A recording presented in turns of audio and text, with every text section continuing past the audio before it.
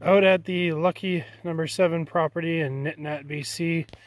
We are prospecting at the camp showing and what we're doing is we found some nice high grade samples in this area here and we're going to actually just dig a bit of a test pit here on the side of the road and see what else we can pull out of there.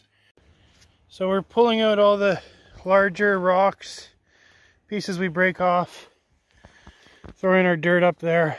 We'll hammer all these rocks open after. We're just pulling a big hunk off this piece of bedrock here that's come loose.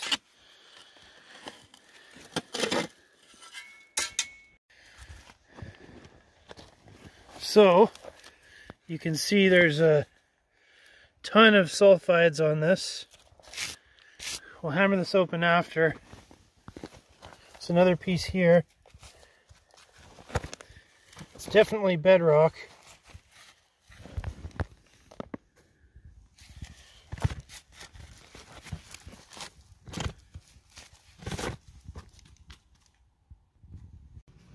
Well, we can't go too much deeper than bedrock.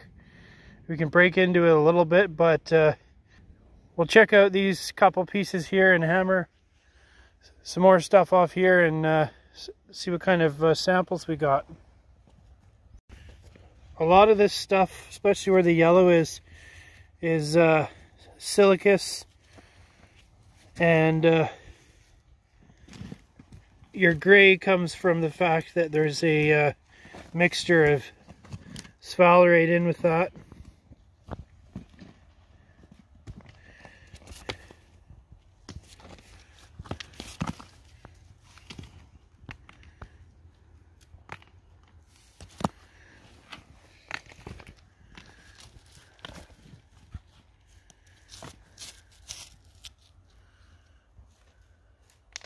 The very first piece I broke off the end of this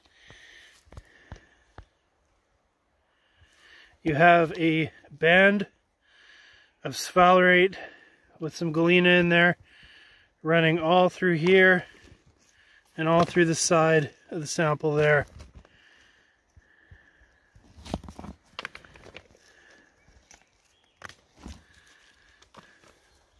Here's another piece off it.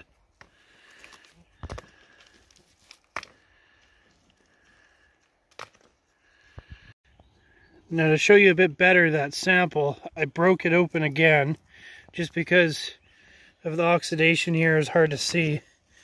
And you can see a giant band. This is about five centimeters thick running through here. It looks like, based on the sulfides on the bottom too, that this is probably a larger vein where this is broken off of right here. But that is just uh, really nice sphalerite, galena.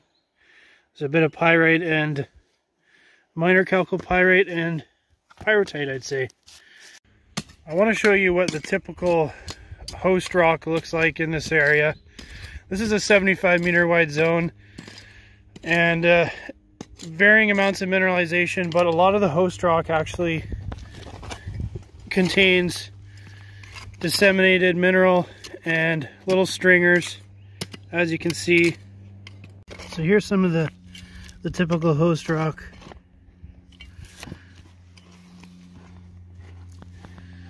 You can see a little vein, one centimeter wide cutting through that.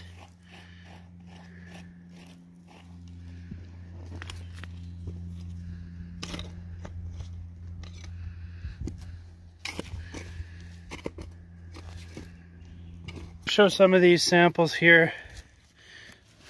So this is your host rock, but it's also got loads of sphalerite and pyrite in it.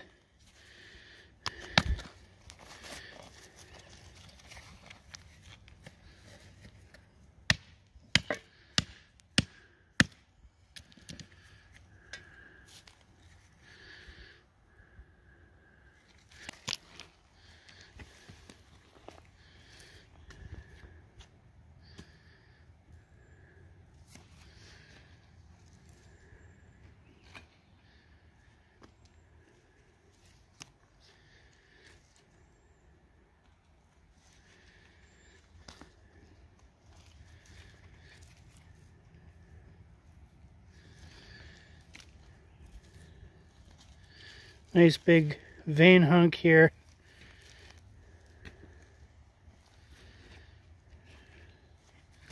Attached to the bottom.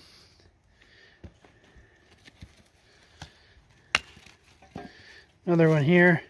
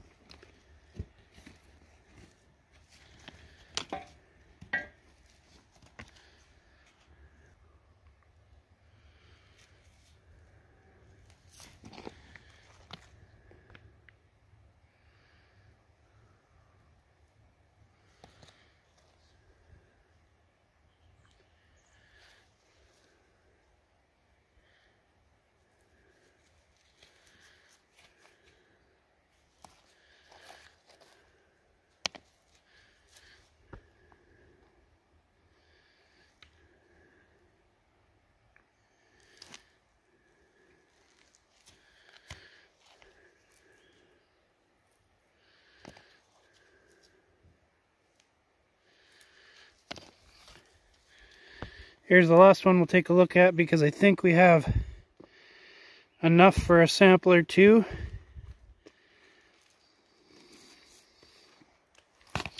A lot of the smaller samples too on the ground just laying there.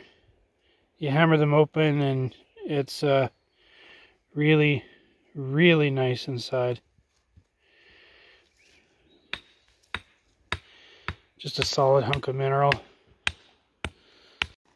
So from our small, tiny roadside test pit, three quarters of a meter wide and half a meter deep, down to bedrock, we have both samples here. We've taken off the bedrock and then that first big boulder that was attached to bedrock, we removed another sample. Sample number eight and sample number nine.